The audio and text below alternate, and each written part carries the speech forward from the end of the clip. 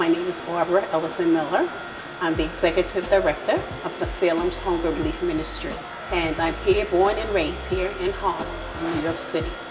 Since I was born and raised here, being, being a New Yorker and interacting with folks within the city, I love New York. New York is the most exciting and entertaining city that there is. Salem is my church home. I arrived here 12 years old at Salem, so I grew up here. I actually got married here 38 years ago. Gave birth to twins. They spent their whole life here at Salem. So that's how I, am a part of Salem in this community. It's very fulfilling, yeah. you know, and um, I look forward to what I can contribute to the church. And I always said when I was coming here, I'm looking forward to help building this kingdom because I was looking forward to bringing my grandchildren here one day.